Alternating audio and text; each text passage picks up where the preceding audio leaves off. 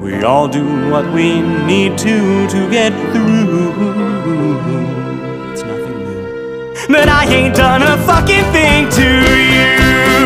So God forbid I'm seen just as an average human being. I mean, imagine if antagonists lacked any evil scheme.